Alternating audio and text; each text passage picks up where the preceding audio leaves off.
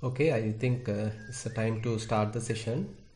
So I welcome all of you for uh, Wednesday Sutta teaching session. For some of you it is Tuesday, for us it is Wednesday morning.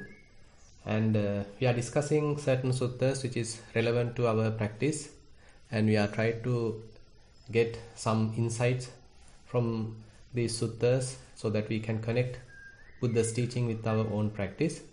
And uh, as a result, we are going through Dhatu Vibhanga Sutta, where Buddha is uh, explaining various aspects of so-called person and so-called individual, and he is giving entirely different uh, explanations. And this is quite relevant to our practice, and so we are discussing this for several weeks now. And actually, today we have come to the last session of this sutta. So, first of all, if I go through the summary of the sutta, so Venerable Pukkusati gone forth on behalf of uh, aiming Buddha, the uh, even though he is not uh, seen the Buddha in person and uh, only heard Buddha's teaching through his good friend King Bimbisara, and actually uh, Venerable Pukkusati is far away from uh, uh, Shravasti and he is actually in Avanti and now he is coming towards the uh, Shravasti to meet Buddha. In between, he got late and uh, he had to stay at the potter's warehouse. And while he is staying there, Buddha also understood that uh, Venerable Pukkusati is approaching him in order to meet him, but he found that uh, he has uh, short lifespan. So, and he is in a condition to receive the Dhamma. So, Buddha also coming to the same place and got permission from uh, the potter as well as from Venerable, Pukkusati. And now Buddha also went to the same place. Venerable Pukkusati is uh, with some uh, higher samatha concentration, so he is enjoying those and he attained certain samadhi. And Buddha also understood that he is in a higher concentration, sam- uh, samatha concentration, and Buddha also waited uh, while uh, Venerable Pukkusati emerged from that samadhi. And then Buddha asked from Venerable Pukkusati, uh, from on behalf of whom that you have gone forth. Then Venerable Pukkusati mentioned that I have gone forth on behalf of Gautama the Buddha. And then Buddha asked whether you have seen him. If you see him, could you able to recognize him? Then Venerable Pukkusati replied that no, I haven't seen him, and I also don't be able to recognize him. And here the beauty is that Buddha didn't go to in, uh, uh, sort of uh, introduce him. Rather, he immediately asked, "Is it okay if I preach you some dhamma? Are you ready to listen?" Then Venerable Pukkusati, "Yes, my friend, uh, it's all right. You can preach me dhamma." So likewise, he is uh, addressing the Buddha as a friend, Avusovada, and then uh, he started to listen. So now Buddha is giving various deep dhamma more relevant to vipassana, more relevant to the insight meditation, and he's telling the first uh, this so-called person consists of six elements: earth element, fire element, water element, air element, space element, and consciousness element. So these are the six elements that so-called person consists of. And this explanation actually simplify the whole experience. We typically think we are someone we i have this name i have these titles i have these designations. This is my wealth. This is my social status. And these are my children. These are my parents. This is my wife. This is my husband. This is my country. So likewise we have so much preconceived ideas. We are so preoccupied. And this is how we typically think. Really uh, struggling with the conventional conventional uh, stuff conceptual stuff. So this is the typical way of uh, thinking. Now onto this buddha is telling even though that we have so much of uh, conceptual uh, ideas what is really available is nothing but six elements. So this is in a way uh, uh, huge simplification to our whole experience. So if a yogi is able to recognize all these six elements understand these six elements that would be a uh, opening of a different domain And then Buddha goes on to explain that the so-called person is six bases of contact: eye contact with the uh, sights, ear with sounds, nose with smells, tongue with uh, tastes, body with tactile sensations, and the mind with uh, mental objects. So this way also another simplification comes. So this so-called person is nothing but six contacts, six bases of contact. And then Buddha says this so-called person is 18 types of mental exploration. When we see something through our eyes, so we immediately start to look at more details, expecting to be happy. Or else if if the sight is bringing up some kind of a sorrow, kind of a uh, unhappiness, still we may be looking in search of various details, signs, marks available there. So still our mind get sorrow, more and more unhappy. Still we are looking. On the other hand, on, uh, most of the time we are looking at certain things.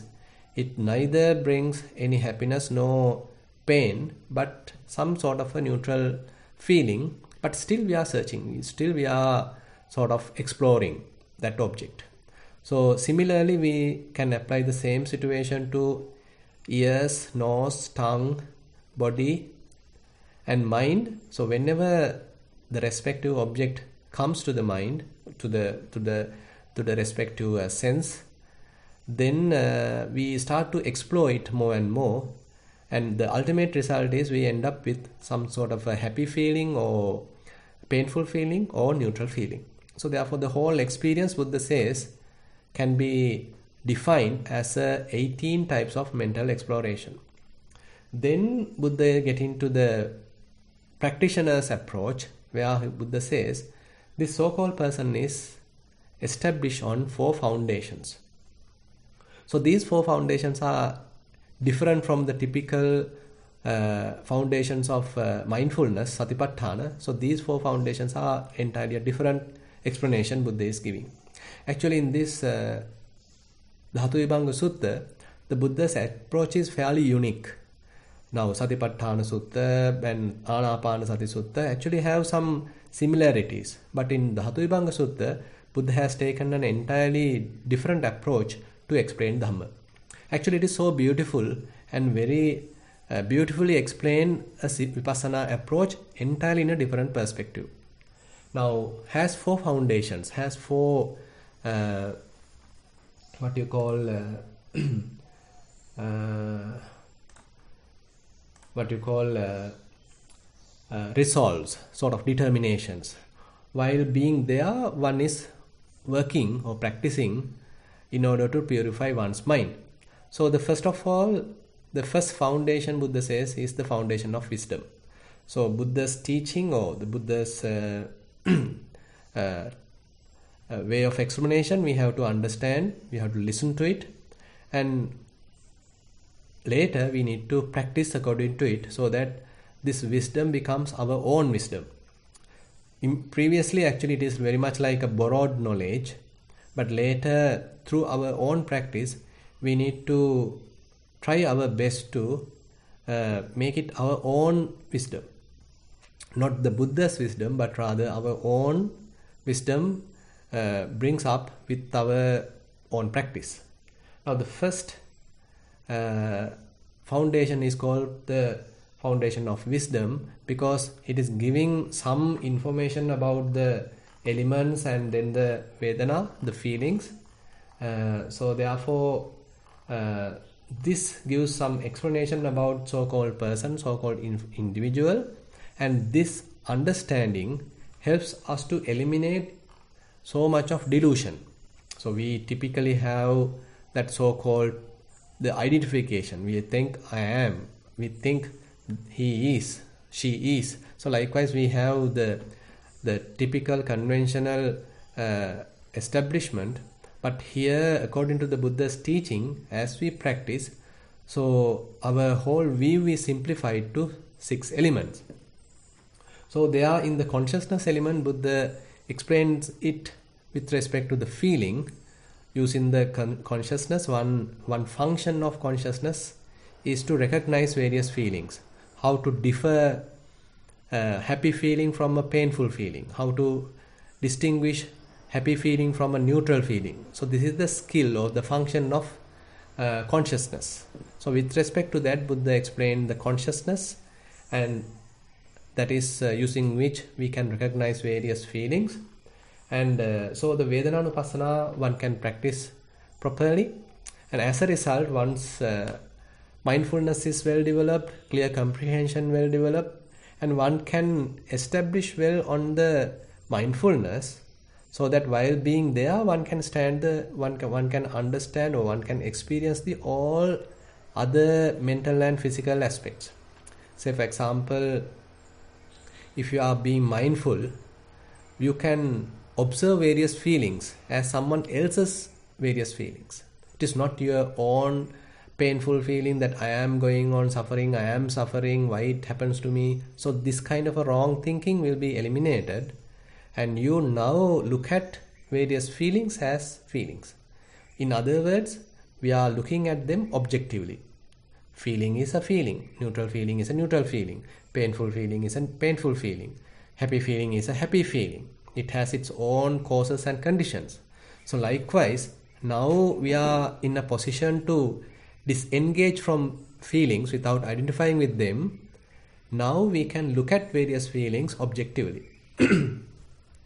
So this is actually showing us a kind of insight for us to how to disengage from feelings. Similarly, how to disengage from bodily phenomena and look at them objectively. And similarly, how to disengage from mental objects, thoughts, and how to look at them objectively. So, this establishment is extremely crucial in our practice because otherwise we constantly identify with them. We get absorbed to them. We get uh, obsessed with them. But if we are able to look at them objectively, so that is one crucial aspect of our insight practice. And then uh, Buddha explains Venerable Pukkusati that now you have to give up the absorptions or you don't need to attach to them because they have so many drawbacks now you have to plunge into the nothingness or the emptiness where there is no grasping, there is no associations at all. So mind has its own freedom. So now Buddha is turning his mind towards the uh, Nibbana, there are no associations, there are no attachments, no grasping, and fairly spacious.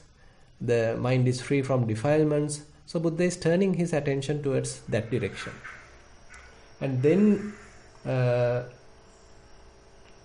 uh, after he encounter or he is able to uh, establish himself on the emptiness or the detachment unassociated state of mind buddha says that is the truth that is the truth that you need to preserve everything else all the conditioned phenomena are subject to are subjected to constant arising and passing away constant change. They are so impermanent. They are subjected to this complete or con- constant transitions and you have no control at all. So therefore they are not the truth. If, if you think any of they are true with respect to the current state, in the next moment it may change otherwise. So how are you going to cha- say, so this is the truth? Because if it is true, it has to be, it has to be true forever but if something is true only for a moment and in the next moment if it is changing to something else then you can't say the present one is the truth so therefore buddha says the whole condition experience is not the truth. But if one is able to establish oneself on the unconditioned where there are no grasping where there are no clinging there are no attachments there is no self view so that is the proper state that one can say which is true. So therefore this is not something extremely far from us so when a vipassana yogi continues his practice time to time he may encounter this kind of a state. Suppose you are doing vedananupassana so if you are constantly look at various feelings objectively so slowly your mind is uh, enriched with very fair amount of insights. So that actually helps us to have a proper understanding about feelings, and as a result, mind starts to disengage from various feelings. Now mind doesn't want to recognize with them. Now mind doesn't want to identify with them, but now mind develops a certain skill to look at them objectively. Now mind has its the proper understanding. If there is proper understanding available, one definite result is to relinquish. So sometimes we call as yathabhuta jnana dassana. When one has the yathabhuta jnana dassana, seeing things as they truly are. If one has this insight, one definite result of that is to have the nibbida, disenchantment, and then the relinquishment. So then mind become free. So this freedom is something Buddha really appreciate and ask us to preserve it. If you are able to release your mind, free your mind only for a moment, try to preserve it for another moment. And if you are able to free your mind for one minute, try to preserve it for two minutes. So likewise, Buddha encourages us to enhance this freedom, well, to well establish on this freedom, because this is the true state of mind. And now one is developing that foundation, and then later one has to cultivate this uh, relinquishment. Because we have so many identifications, we have so many acquisitions, possessions, using which actually we define ourselves. I am so and so, I have this name, I have this degree, I have this education, I have this house, this is my uh, occupation, this is my country, they are my children, this is my wealth, this is my bank account, this is my driving license. So, likewise, we have so many parameters to define a so called person. So, with that, we actually strengthen our self view, the I. So, constant I making, mind making happens through our mind because of the delusion. Now, when it happens, Buddha asks us to penetrate that wrong view. Buddha asks us to penetrate that deluded view, deluded thought, and to relinquish it without identifying with it, just to relinquish it and to again come back to that freedom. So, therefore, this uh, foundation of relinquishment is to give up all these uh, acquisitions, possessions, mental identifications, preconceived ideas, deluded ideas, so that again the mind become free. As I mentioned, it is not that we give up all the physical belongings, all our family, and then go to the forest. Rather, when various thoughts are arising in connected with those uh, attachments, in connection with those uh, possessions, belongings, at that very moment we have to recognize it as a deluded thought. At that time we have to recognize it as a kind of a I making, mind making.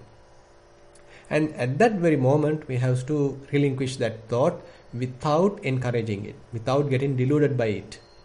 So, therefore, one has to uh, cultivate this kind of a relinquishment so that mind become more and more free. And not only free, then Buddha is taking us to the fourth foundation. Now mind become peaceful. There is nothing to attach, nothing to corrupt the mind, nothing to obsess the mind. So fair amount of freedom, spaciousness, unentanglement is possible. Otherwise, we constantly entangle with various uh, thoughts because we, we think that they are my thought, this I have to operate, I have to react according to it. So, likewise, we constantly get deluded. But here, if we are able to relinquish all those acquisitions through our from our mind and again uh, try to maintain that peace, Buddha asks us to train our mind to be in that peace. So, this is fairly important because Buddha says that throughout this whole samsara, we are constantly polluted by lust, constantly affected by hatred, constantly affected by delusion. So, how about at least, at least in this very moment, can we be free from hate, delusion, and lust? So, it's a kind of an invitation, kind of an opening because so many eons our mind is corrupted polluted by these various defilements. How about this life? Are we going to constantly uh, continue that practice? Are we still going to uh, sort of uh, become a victim of that defilements? Or are we able to at least momentarily free our mind from those defilements? So that's why buddha is uh, encouraging us to free our mind from various defilements. So then only the mind become peaceful when uh, mind is free from various defilements so then mind become peaceful. That peace has to be trained more and more. So so the four foundations therefore we can summarize here. The first foundation is the foundation of wisdom that one should not neglect. One has to be diligent in uh, uh, having that knowledge and to practice and to have, have and to make this knowledge or this wisdom as one's own knowledge one's own wisdom kind of a, kind of a meditative knowledge kind of insights so that one has to work hard to have it because it is not that you may gain merely by listening to Dhamma, merely by reading a book. You have to have your practical, uh, say, work. You have to really get involved with, in the practice. Then only you are able to have its your own knowledge, your own experiential meditative insight. So for this, Buddha says, don't get don't get delayed, don't postpone it. It it requires certain amount of effort so therefore Buddha encourage telling us don't neglect it. Panyang nappamajjaya. One has to be diligent, vigilant in uh, having that knowledge, having that wisdom. Then Buddha says establish yourself on the truth and that has to be preserved.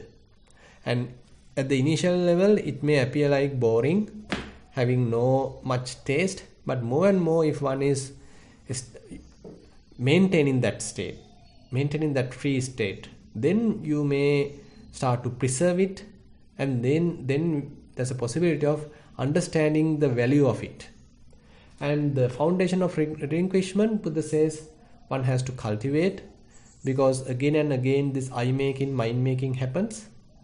And as a result when such thing happen you have to be mindful about it. And without getting deluded by it you have to relinquish it.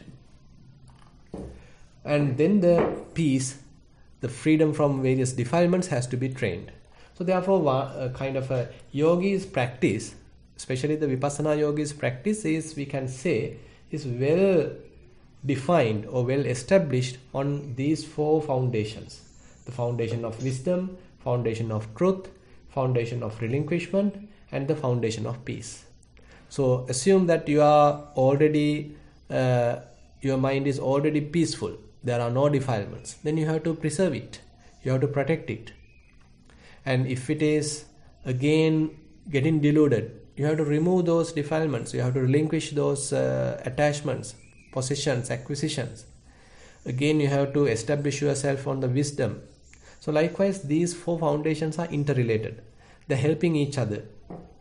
And uh, now we get into the last section where buddha says the tides of conceiving do not sweep over one who stands upon these foundations. When the tides of conceiving no longer sweep over him, he is called a sage at peace. Now, Buddha is taking us to a, another angle how to relinquish conceiving, how to stop various conceivements now, if we come back to our mind, time to time we have various thoughts. Various thoughts popping up with respect to various possessions, various acquisitions, various titles, various status, various skills, and we are trying to define a self.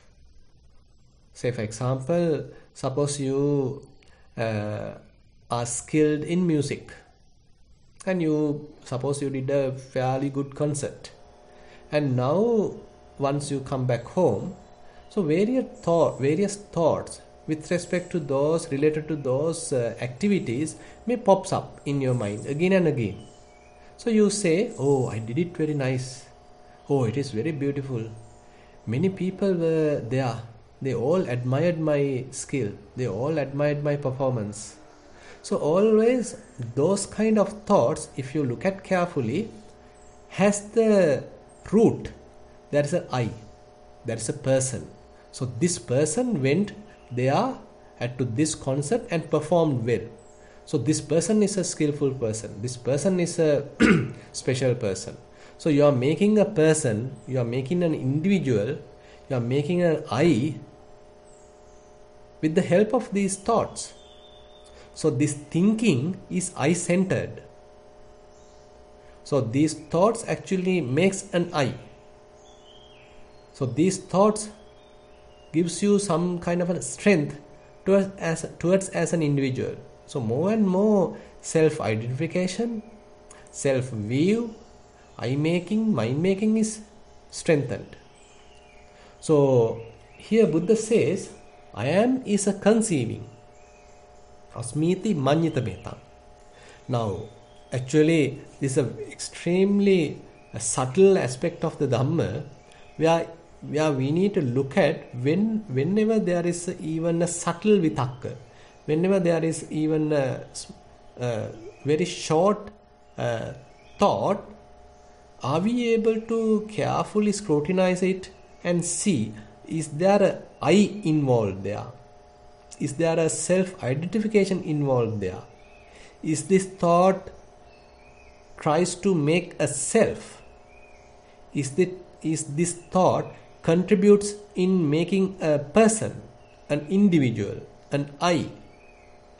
Is this thought promotes an I? So this is a consummate. If so, it is a consummate.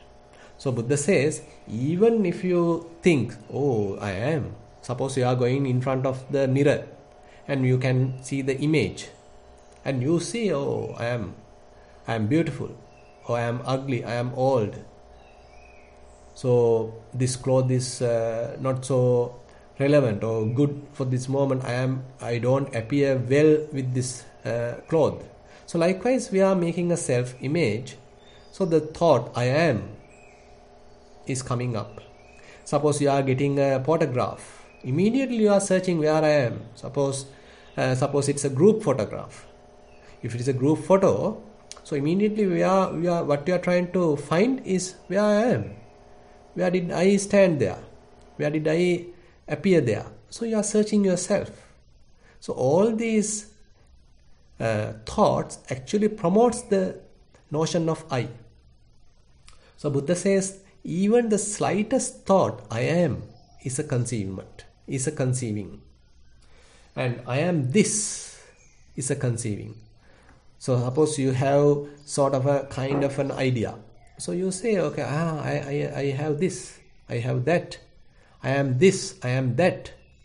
All these I am this, I am that has the I in, in, in as the center. Those thoughts actually pops up while making I in the center. So this is a conceiving. I am this, I am that is a conceiving.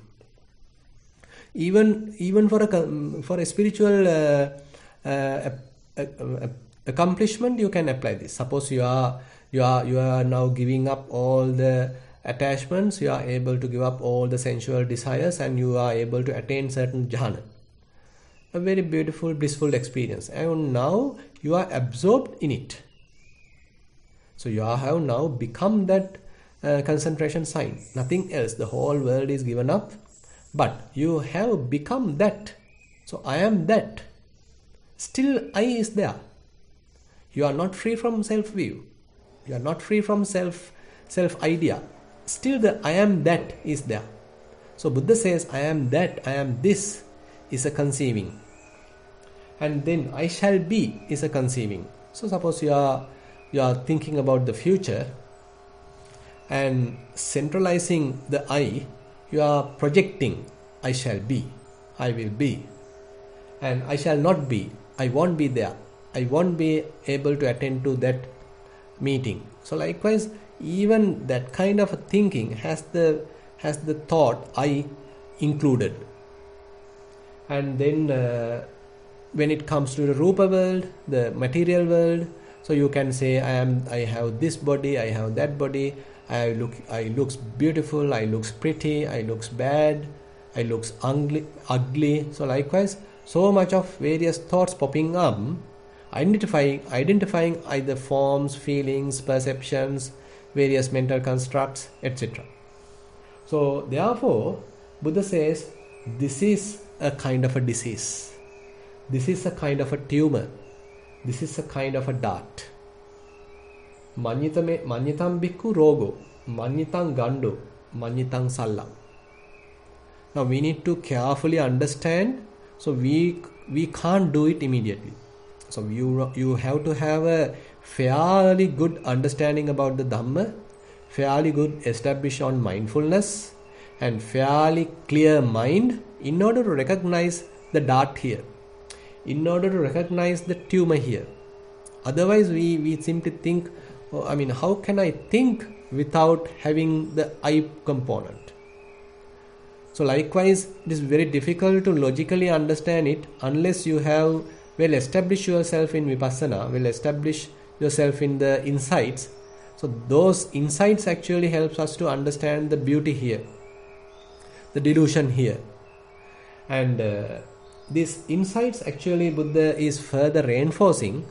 And buddha says this all conceiving is a kind of a disease is a dart is a tumor and uh, if one is able to overcome all these conceivings then buddha says he is a sage at peace so this is nothing but the arahant the Arahant, therefore, is a sage at peace because he is entirely free from all these conceiving. Sabba manyitanantveva bhikkhu samatikkama munisantoti uchati. So, all the conceivements, all the conceiving, one is able to relinquish, overcome, and then only the mind become extremely free, extremely peaceful. Otherwise, the tides are coming again and again, making a self. But the Arahant is free from all these tides. Therefore, Buddha says he is at peace. And uh, when there is no person, when there is no I, there is nothing to get born. And when there is nothing to get born, what is to get old? What is to get age? And when there is nothing to get aged, what is to die? And when there is no death, nothing to be shaken. And therefore, beautifully, Buddha encourages here for, the, for there is nothing present in him by which he might be born. And when there is nothing to born, how, can, how could he die? How could he age? And when there is no dying, how could he be shaken?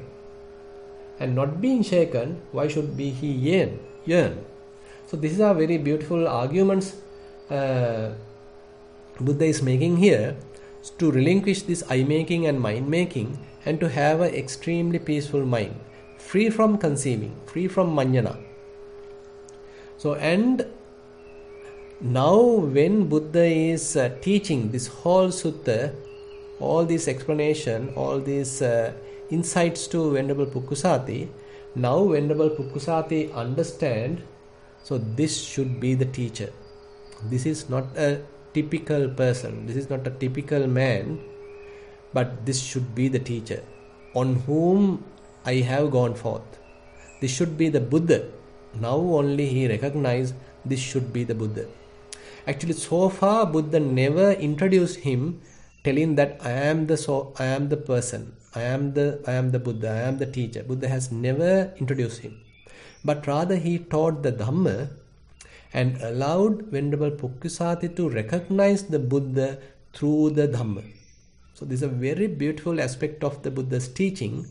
Never go for any kind of an advertisement. Rather give the truth or give the teaching and allow the practitioner to recognize the Buddha through his own practice, through his own teaching. Because when Buddha's teaching is internalized, if one is trying to live according to it, when one is trying to uh, have one's own wisdom by practicing according to that teaching, then only one would be able to properly, clearly understand who is Buddha. So this is what happens here to Venerable Pukkusati. So with this beautiful teaching and his own wisdom, now Venerable Pukkusati is to recognize Buddha through the teaching. Now he apologizes apologizes Buddha telling Bante, I really didn't recognize you, I didn't really understand this is my teacher. So I simply used the term friend, avuso. So please, please apologize me. Please forgive me. So this request now Venerable Pukkusati puts to the Buddha. then Buddha actually apologized him, forgiven him, sorry, forgive him, and uh, Buddha says another beautiful statement here for it is growth in the noble one's discipline when one sees one's own fault, one's own transgression. And again, one tries his best to purify oneself, correct oneself, according, according to the Dhamma. And this is a growth. This is a kind of a restraint in Buddha's sasana, in Buddha's dispensation. බුද්ධ හිසා බික්කු අරියස්ස විනයේ යෝ අච්චයන් අච්චයතෝ දිස්වා යථා ධම්මං පටිකරෝති ආයතින් සංවරං ආපජ්ජති so you see your own fault as a fault so you have to be very honest very humble and then you go to the teacher and tell bante i did this mistake so please forgive me so this is a kind of a very honest apology is a very beautiful aspect of dhamma and there Buddha says if one see one's own fault and tries to correct it, so then the development is possible. Then the advancement is possible in this Dhamma. Other than uh, uh, sort of hiding one's faults, if one is able to reveal one's faults and to get the apology, then actually helps one to correct oneself and to progress in Dhamma. And uh, then, Venerable, once Buddha mentioned that, so Venerable Pukkusati was happy, and uh, now he is asking higher ordination from the Buddha. Now he is already, he thinks that he is already a monk, and he now wants to go forth and to get the higher ordination, Upasampada, from the Buddha. And typically, in order to give Upasampada, even today, you have to have certain requisites three robes has to be complete. The the single robe or the outer robe what you call the uttarasanga and the double robe that is the sangati and the antaravasaka the inner robe. So these three robes is a must for a upasampada bhikkhu. And the ball. So the three robes and the ball are the must or the essential prerequisites in order to get higher ordination. And when Venerable Pukkusati requests high ordination from the Buddha, then Buddha asks whether are you complete on these uh, requisites. Then Venerable Pukkusati says, no, I am not. So then Buddha says, it is impossible to give high ordination without these uh, essential requisites. And so once Buddha informed that, Venerable Pukkusati paid respect to Buddha and uh, went out in search of these requisites. But unfortunately, while in search of uh, these, while searching these requisites, he was uh, knocked by a, a, a, stray cow and he was killed. And this is how Venerable Pukkusati, passed away. And later, the monks get to know that Buddha uh, alone approached Venerable Pukkusati and preached Dhamma only just one night and then Venerable Pukkusati passed away, and now certain monks are wondering what would be his next birth. And so they approach Buddha and they ask, Bante, you went to this potter's house and you preached Dhamma in short to Venerable Pukkusati, and he was killed later. And what was his next birth? And then Buddha reveals, telling that he is very intelligent, he is very wise, he didn't uh, ask so much questions but he was able to understand my teaching very quickly and he actually born in pure abodes as a anagami, as an non-returner. So by relinquishing five fetters, you know there are 10 fetters. Among those, if one is able to completely uproot the first five fetters, one would be reborn in the pure abodes as an anagami. So with that note, Buddha concludes this uh, sermon, this sutta. And so I also like to conclude today's uh, Dhamma sermon or the sutta teaching today. And with that, actually, we conclude this whole Dhatu Vibhanga Sutta. So I like now to open the session for questions. Oh, Bante, sadhu, sadhu, sadhu. What a wonderful sutta. Um, so, for all of you that may be new to this group, uh, you may ask a question directly by raising your hand, or you may also send it to me via the chat. Okay, no questions means that everybody understood everything.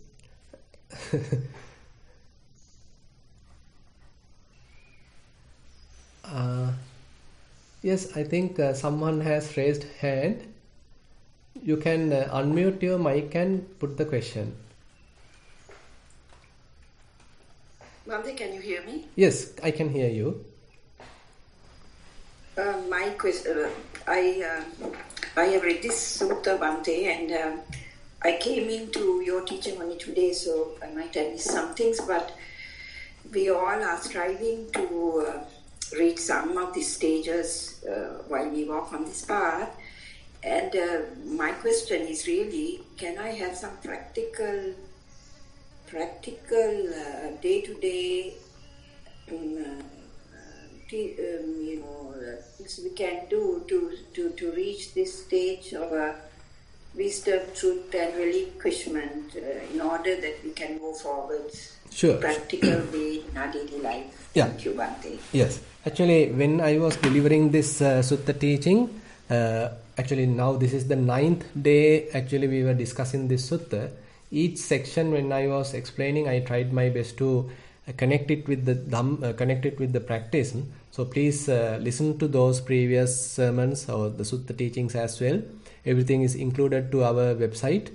Uh, so maybe Jenny will uh, give you the directions where where it is uh, uploaded and one I'll, I'll give few kind of a summary here basically suppose uh, when we are telling uh, we consist of six elements. So the first four elements patavi apo tejo vayo the earth element fire element water element and the air element. So these i mean as you have correctly mentioned i mean just having this knowledge this have, through the through the uh, listening is not enough. Hmm? so we need to recognize these the the uh, the availability of these elements through our own practice say for example when you are doing walking meditation so whenever your foot is felt with roughness hardness heaviness lightness so this is this is an indication that the earth element is present. Whenever you encounter heat cold this is the indication that the operation of fire element is present. And when there is wind when there is movement when there are vibrations so that is the function of air element. And when it is something watery some something flowing is present as an indication the water element is present. So likewise throughout throughout our practice so these uh, elements come to the front. But immediately you may not be, we may not be able to recognize them because our mind is distracted. So we need to uh, first develop fair amount of uh, concentration and with that concentrated mind we would be able to clearly recognize the operation of or the presence of these elements. And suppose uh, you do uh, sitting meditation. First suppose you do some anapanasati and establish mindfulness. And afterward probably you may be able to recognize various sensations throughout your body. Maybe itching sensation maybe say rubbing sensations maybe movements vibrations. Uh, heat cold. So likewise so many uh, these characteristics may be available in the body. So now we are looking at various characteristics or the element characteristics. So later we will understand it is there is no person here, there is no I here. What is available is a constant, consistent operation of elements because constantly what is available is the manifestation of various characteristics. So you will define your whole experience in a different way, understanding that what is available is a manifestation of these characteristics, these uh, elements. And it is common to inside world as well as to the outside world. Internally you understand what is available is nothing but four elements and externally also what, uh, what is available is four elements. So this is one aspect. On the other hand, when you do Vedananupassana, suppose you are able to establish mindfulness and then you are able to observe various feelings arising in the body, arising in the mind. There also you understand, okay, this is happiness, this is uh, uh, pain, this is uh, neutral feeling. So likewise, again and again, whenever there are feelings available, feelings arising, you are able to recognize these feelings. So as I mentioned even today, so more you observe like this, kind of a detachment arise. So now you stop identification, rather you are looking at these uh, feelings objectively. So when happy feeling arise, you are looking at it objectively, it is a happy feeling. When there's a painful feeling arise, you are not identifying with it, you are not trying to escape from it, rather you recognize it as a, this is a painful feeling. When there's a neutral feeling, you are not ignoring it, rather you recognize it. Oh, this is a, a neutral feeling. So likewise, now the ability to recognize them objectively is possible. As a result, kind of a disengagement happen from the from this object, from this feeling and the observing mind. So this is how the establishment of mindfulness happens, the growth happens, and when enough wisdom is uh, grown, so your mind automatically relinquish it. Because mind understand this, engage in this experience or the grasping of this experience, grasping of these various feelings is not necessary and it's a kind of a burden, it's a kind of a suffering and it is not, it is out of my control. So why should I grasp? Why should I hold it? Why should I try to possess it? So this question comes in the yogi's mind, and as it as that wisdom matures, and then the mind will simply relinquish, and then mind become free. So that is how the how these insights are operating practically in our own practice, and uh, then you get established in that relinquishment, in that freedom, that non-attached state of mind, unbound state of mind. So that has to be further cultivated, that has to be protected and further enhanced. So that is how Buddha is approaching in this sutta, how, how one has to first uh, develop the wisdom as one's own experience and then how one's mind will be relinquished, all these attachments, graspings, and then how to uh, preserve that uh, release state of mind and how to train one's mind to be in that peace by relinquishing all defilements and again to relinquish all acquisitions. So, likewise, uh, Buddha is uh, training us or giving us a path to free our mind.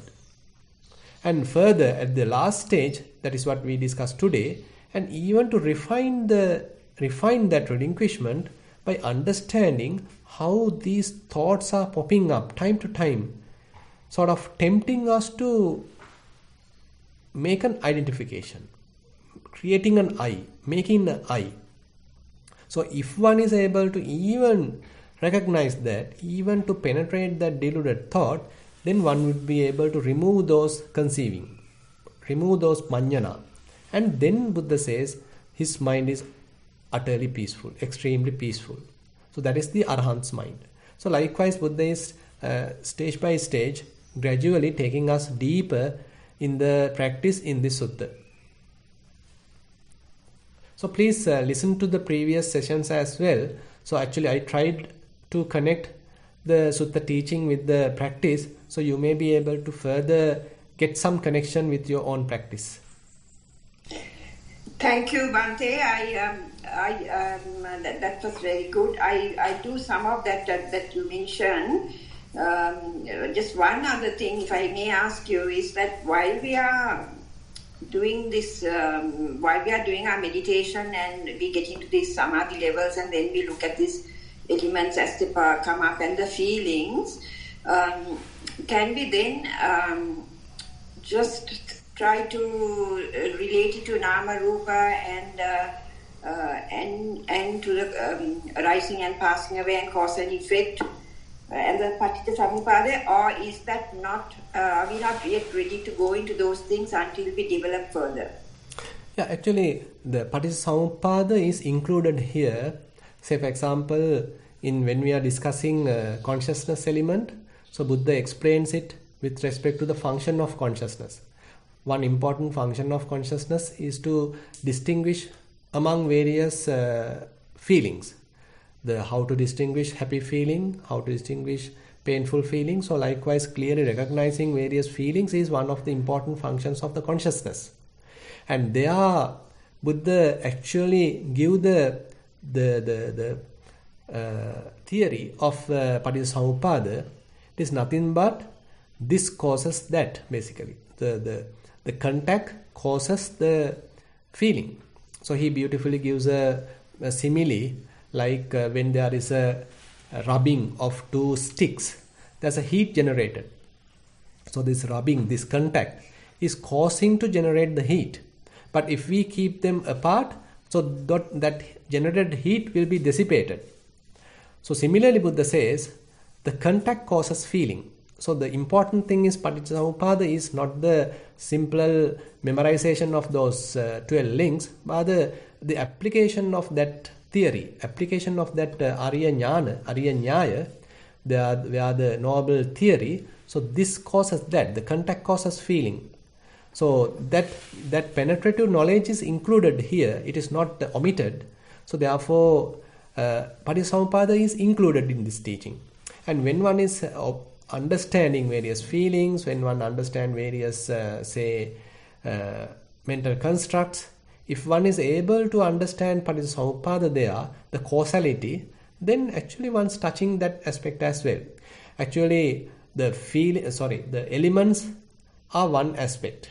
And when suppose one is uh, recognizing mental explorations, probably one would be able to understand how various mental uh, uh, say feelings are arising how a happy feeling arises, how a painful feeling arises, how a neutral feeling arises in the mind because when the eye and eye go and contact with the sight when ear go and contact with the sound so likewise buddha is giving us a kind of a beautiful relationship to look at this causality.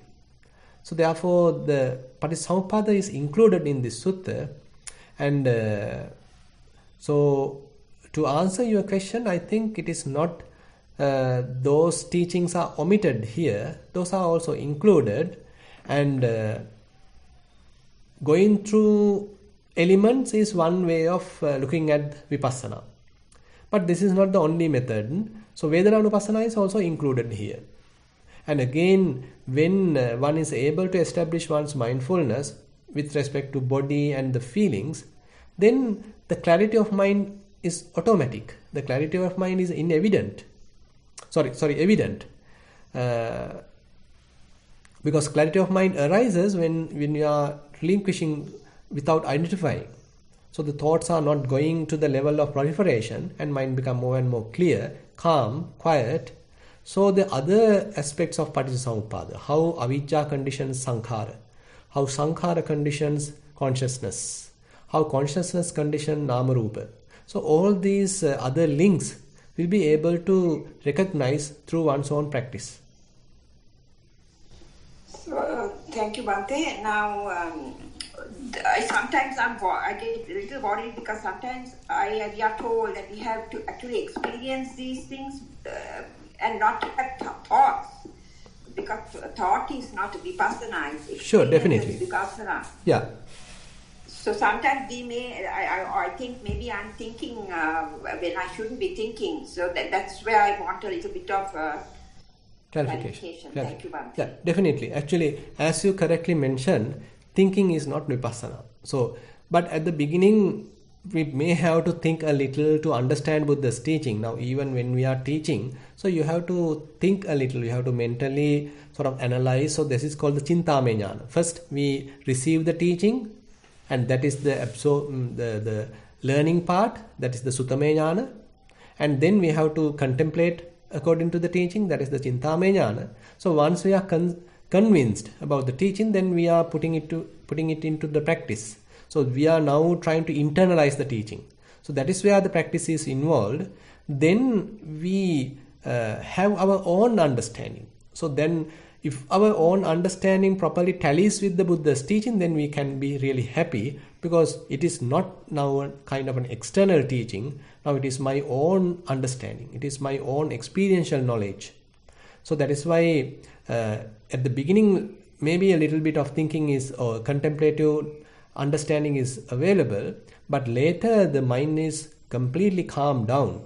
So the inner chatter, this monologue is completely calmed down, and now one is uh, experiencing all these uh, aspects of the Dhamma. As I mentioned, say, when you are going through uh, the causality, this uh, Paticcasamuppada, so one's mind is utterly quiet.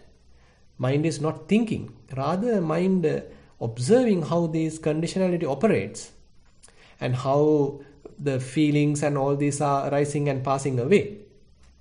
It is not that we are trying to condition the mind, but rather we are very carefully observing with a very quiet mind. And then one is able to uh, have various insights. Thank you, Bante. Much merit to you. I, um, I, I have understood that part. Thanks very much, Bante. Yeah. Okay. You're welcome. Thank you, Bante. Um, there's quite a few questions, but I don't believe we have time um, since the next virtual retreat Q&A is starting in two minutes, Bante. So no, I think, uh, Jennifer, the virtual retreat starts with the observation of Sila. I think this is in Sinhala medium. This uh, uh-huh. uh, Priyanka Molligoda starts it today. And Bante Dhammajiva asked, was uh, requested to give Sila at 9 a.m. as far as I know but right now it is oh. 8 a.m. Yes. Um, I was told by Kamal it was 8 a.m. Uh, Priyanka, can you confirm? Priyanka, you're on the line, right? Okay. Uh, oh. Uh, yes, Jennifer, it's yeah, starting at 9 a.m. Observing still at 9 a.m. So. Oh, great. That means we have more time. okay. Thank you. Um, so, Bante, I don't know that we have any quick um, questions here, but the next question is uh, Bante, please explain briefly the 10 fetters. uh, 10 fetters actually we discussed uh, in uh, Sabbasava Sutta. The, there are five fetters, I mean, say Sakkaya Ditti, Vichikicha, Silabbata Paramasa are the uh, three fetters you might have uh, some familiarity where the Sotapanna, the stream winner may be able to eradicate and then there are another two uh, uh, Kamaraga, Patiga so that is what the other two fetters uh, only at the level of uh, Anagami, non-returner level one can eradicate and there are another five uh, those are the sometimes called as the upper fetters, upper half, that Ruparaga, Aruparaga, Mana, Uddacha, Avijja. Ruparaga is the attachment towards various, uh, uh, say, imati, uh, sorry, jhana level kind of a, uh, experience, and Aruparaga is the attachment towards uh, immaterial experiences. Mana is the conceit, Uddacha is the restlessness in one's mind. Avijja is the ignorance. So those are called the upper fetters, the Uddham Bhagya Sanyojana. So one can eradicate then that only by being an arahant. So so Venerable Pukusati was able to eradicate first five fetters. Those are called the Adho Bhagya, sorry, uh, Oram Bhagya Sanyojana. And by eradicating those five, one would be able to become an anagami. Thank you, Bante. Um, and the next question is from Sarath. can you unmute yourself and ask your question? Jennifer, this is Radhika. I had to use my husband's computer because my con- uh, computer was giving problems. So Sarath is my husband. So I just asked the question since um, you asked me. Um, thing I wanted to ask about how uh, we have to be careful when we use conventional truth. So I had this because this example came up today when uh, respected one asked me to write to uh, the organizers of the two-day retreat and uh, thank them and give my feedback. Um, usually, when I contact anyone, I don't tell what my title is or anything. I just sign my name. But I have found that if I contact uh, another temple, uh, trying to make uh, a new Satipasala or I contact somebody to uh, promote Satipasala, when I just sign as a volunteer with my name, which is how, how I have done uh, for the whole of the last year without using my title or anything, that they just kind of ignore it. And most of my emails to America and all, they just don't answer. So this time, asked me to do it. I told what you know the my position and i first introduced myself because i was writing to an organization that i didn't know. So how do we avoid this um, in our day-to-day life when we have to work using a title or a position? Because if not we can't get the work done. Exactly. So actually i 100% agree with you actually when i am sending an email i have to write who i am. I am simply writing okay i am venerable chandaratana so and so. So this is necessary. Because i mean we need to we, we should not confuse the conventional uh, operation or the conventional reality with the ultimate reality. So when we are when we are dealing with other others for the communication we have to use all these titles all these designations and names labels etc no harm. But only thing is uh, that is done. Suppose suppose you write an email and you did it properly you indicated all the uh, titles and everything and you thank them whatever it is and you completed it. Suppose that job is done. Now suppose while now you are relaxing yourself suppose there is another thought a second thought arising in your mind. Oh i did a beautiful writing oh i did a beautiful uh, appreciation. I put my name there. I, I it was i mean they have appreciated that they have returned me a, a nice uh, reply. So likewise there's a thought arising in the mind making a self. Okay. So that is where the hitch.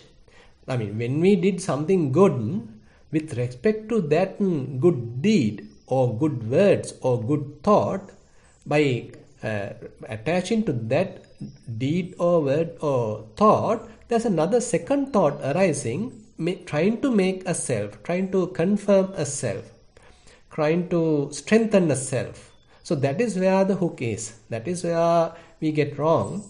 So if we are able to continue or complete our task 100% properly and try to our best, there is no problem at all.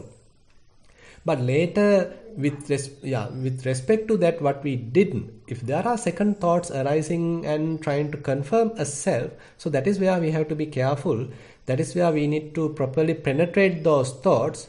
I mean these are not necessary. I have done the job so they have replied fine i did it properly that's it. So after that no there is no not necessity. There is no necessity at all to make a self out of that task.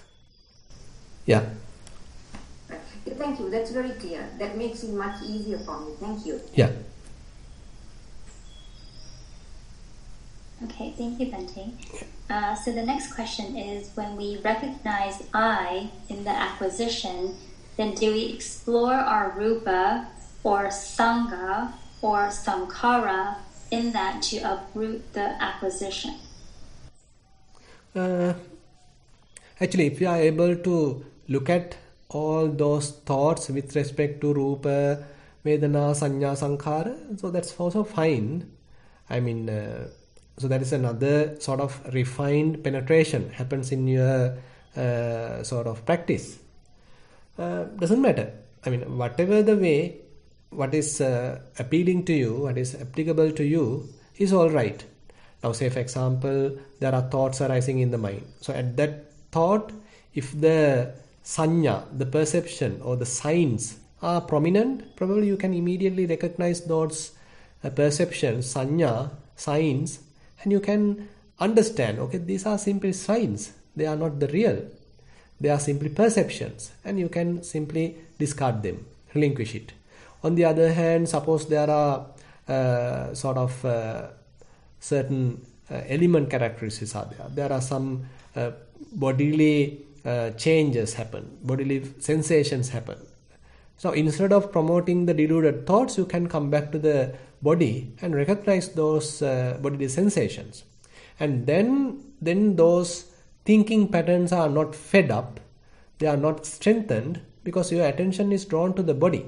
Say for example there are lustful thoughts arising in the mind but as a result there are certain bodily changes happen now you rather than promoting the lustful thought you draw your attention to the body and recognize those reactions. And as a result those uh, reactions may calm down and as a result the thoughts also will be faded away. So on the other hand suppose when there are another say greed related thoughts are arising. Suppose you are thinking about kind of your wealth your bank account or whatever it is.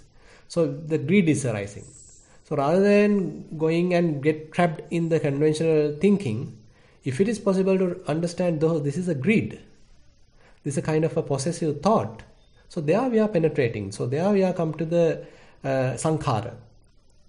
Likewise if you are able to i mean uh, it is dif- it is not possible to say that you have to specifically look at the rupa specifically look at the uh, say sanya specifically look at the sankhara time to time your mind may pick whatever it is. Among these uh, different uh, aggregates your mind may recognize whatever it is whatever prominent. So the prominent one is enough. So there you recognize the uh, various aggregates. And it helps us to look at it objectively and to relinquish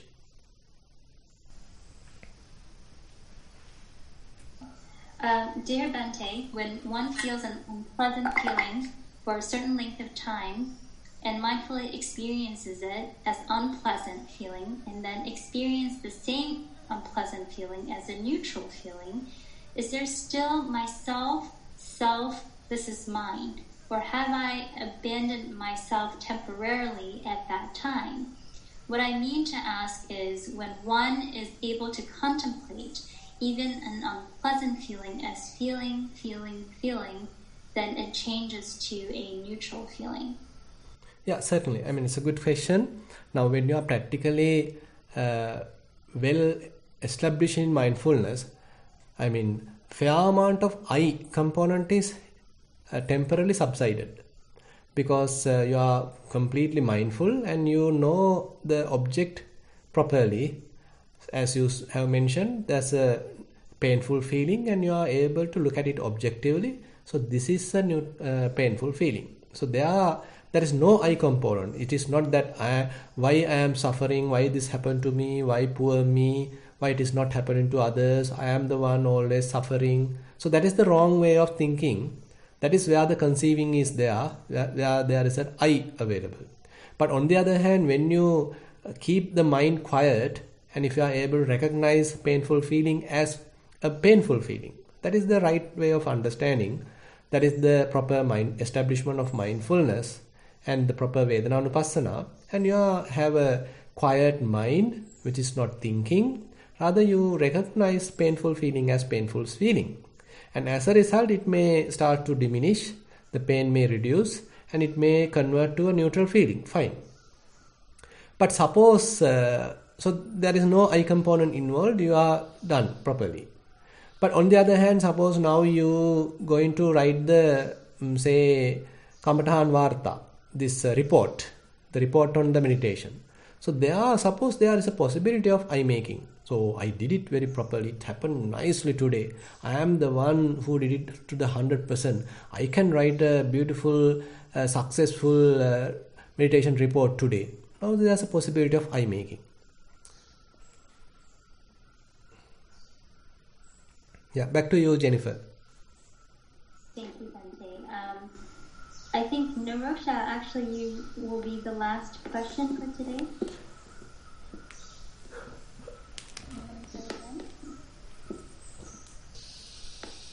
Uh, Radhika, did you want to make the announcement about the volunteer? Um, I just want to ask everyone if uh, anyone is interested in helping us out with the English magazine.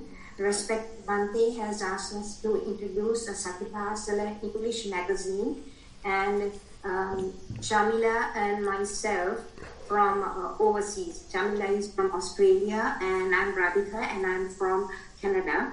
And Tarindu is uh, starting the project.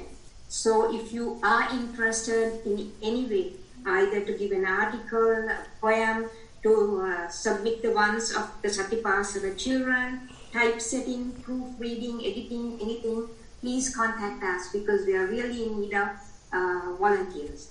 Thank you so much. Sorry, uh, Jennifer. Oh, uh, Sorry, one second. yeah.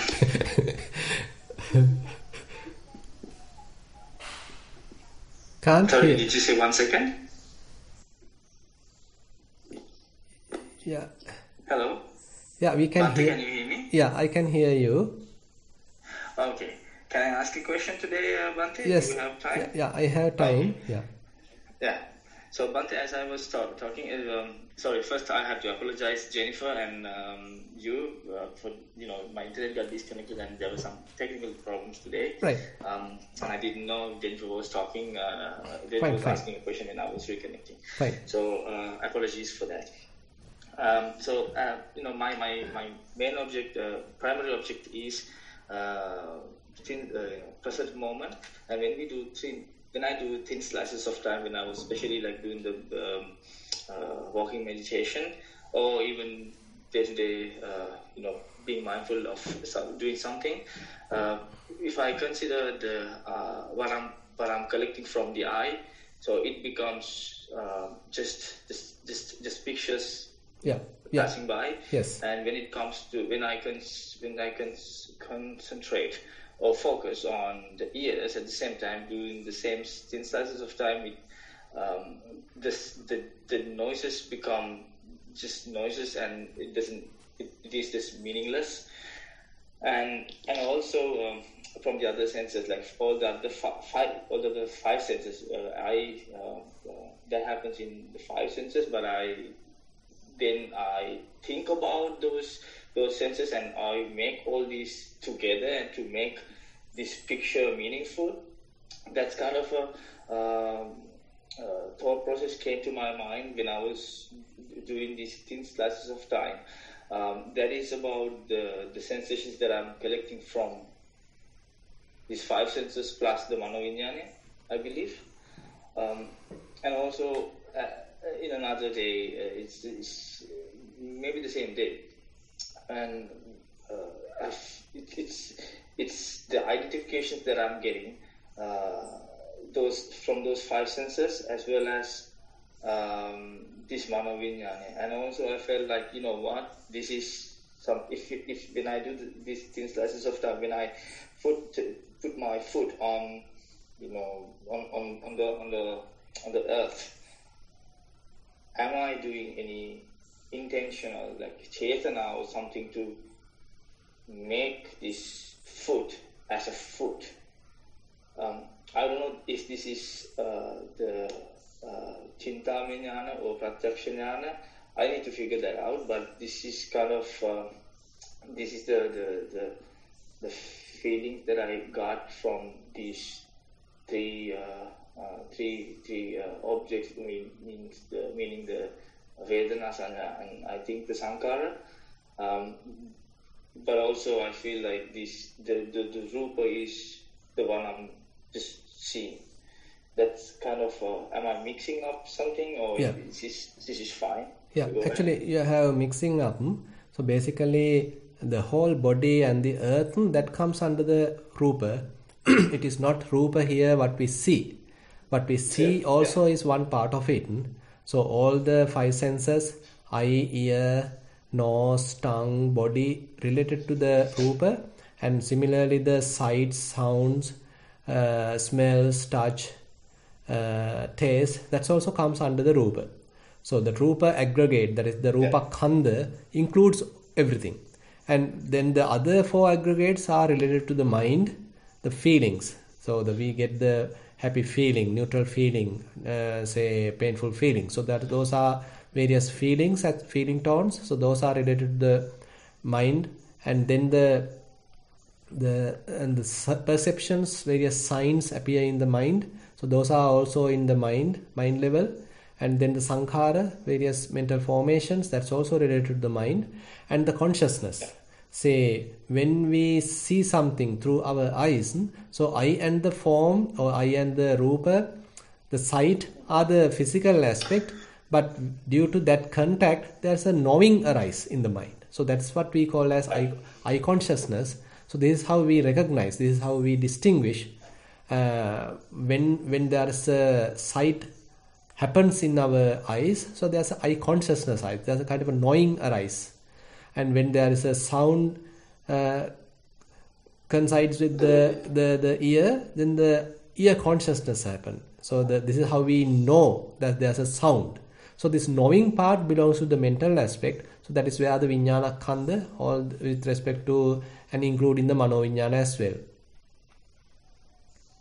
So when we look at these these these things, it's, it becomes oh, everything is just just thoughts.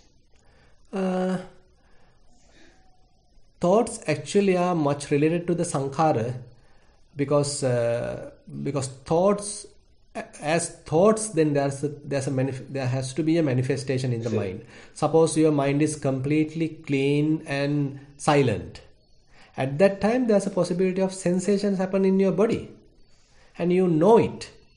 So this knowing and a thought is different you don't need a thought in order to know.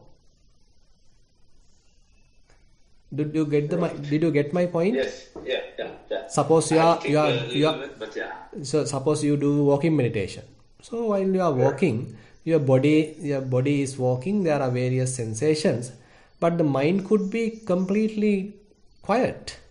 So there are no thoughts at all in the mind but the body is walking. You are feeling everything but body the mind is quiet. No thoughts at all. So that's, that is possible. But is, is is a feeling is a is again uh, isn't a isn't a thought. so that's why i mean that's how the buddha properly sort of categorized these things. So the the physical aspects belong to the rupa kanda so the feelings aspects are belonging to the feeling feeling aggregate. And various mental mental images the perceptions that all belong to the sanya kanda Sanya. yeah and then the sankhara has uh, some prominence in the thoughts.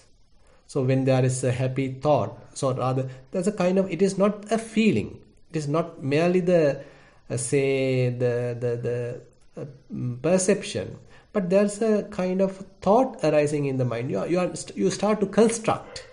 You are start to tell to yourself oh i feel really good oh it's a beautiful day. There's a really sunny day. So there's a kind of a vitakka kind of appreciation kind of appreciative thought vitakka arising in the mind. So this is where we do a little fabrication. Suppose you had a completely quiet mind and now you see a sun and now there's an appreciative thought arising in the mind. Oh this, today is a sunny day. It's a beautiful beautiful environment today. So these are kind of a little mental constructs arising in the mind. So that is where it comes to the sankhara skandha. We don't stop at the sight level. We don't stop at the ditthe ditthamattam. Rather we const- we, we we construct on top of that. So then it is a then it is a sankhara Yeah, if we edit that. exactly. Edit that we, we we put our five cents to it. We put our likes and dislikes to it. And we start to think about it we start to comment we start to comment on it Yeah, that, that's what I asked in the beginning. Like if we, if I look at only the, the the sight, hearing, and the smell, and those sensations, it, it just it becomes just meaningless. and if you do yeah yeah meaning meaningless in the sense your mind can be kept kept very quiet and they are merely seen merely heard hmm. So that's what the Buddha Right. Buddha telling to Venerable Bahiya. So in the seen there is merely seen. In the heard there is merely heard. And what is sensed there is merely the sensed. And only in the cognized what just merely the cognized. And there is nothing to construct out of it. There is nothing to fabricate out of it. If you are able to maintain that quietude in the mind without doing any mental constructs, without doing any fabrication, then the mind is in a peace. Mind is at peace. True. Seen is just seen. Thank you very much, Bante. Yeah, yeah. Much metta, metta to you. Uh. Jennifer, can I do a little thing as well? Uh, I would like to second uh, Ms. Ms. Ms. Uh, uh, announcement. If you are in, if you are interested in uh, volunteering to Satipasala about this e English e magazine, please send her an email. It's it's a, it's a very good uh, uh, contribution to this Hati Satipasala, and we all appreciate any participation um, and volunteering. Thank you very much. Much metta to everybody. Yeah, I think uh, Thank you, Jennifer. Yeah, I think Jennifer, we are now coming to the end of session. Hope we can wind up the session. Yes, Bante. Thank you very Yeah. much. So thank you very much for your participation. There are some interesting questions, and uh, so we'll uh, share the merits and wind up the session. එත්තාවතාච අම්හෙහි සම්බතං පුුණ්‍ය සම්පදං සබ්බේ දේවා අනුමෝදන්තු සම්ප සබ්බත්ති සිද්ධියා එත්තාවතාච අම්හෙහි සම්බතං පුුණ්‍ය සම්පදං සබ්බේ භූතා අනුමෝදන්තු සබ්බ සම්පත්ති සිද්ධියා එත්තාවතාචම්හෙහි සම්බතං පුුණ්‍ය සම්පදං සබ්බේ සත්තා අනුමෝදන්තු සබ්බ සම්පatti සිද්ධියා. ආකාසට්ඨා ච බුම්මට්ඨා දේවානාගා මහිද්దికා පුඤ්ඤන්තං අනුමෝදිත්වා චිරං රක්ඛන්තු සාසනං ආකාසට්ඨා ච බුම්මට්ඨා දේවානාගා මහිද්దికා පුඤ්ඤන්තං අනුමෝදිත්වා චිරං රක්ඛන්තු දේශනං.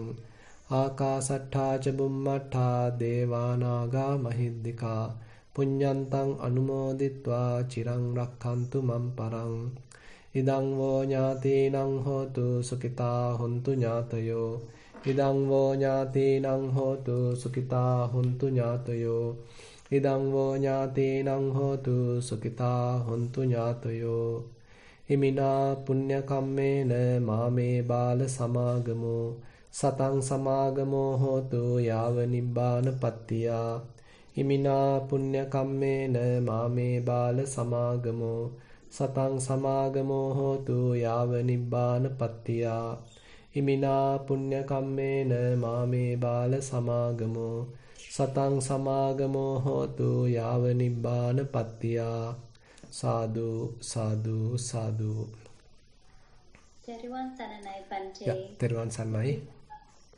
Siruan Sandai Bante. ය තෙරුවන් සන්නයි Teruwan Saranai. And we welcome all to join again next week for a new uh, Sutta discourse. And for all of those that is joining for the virtual retreat, please stay on this line um, and the retreat will get started. Thank you. Thank you, Jennifer. Teruvan Saranai.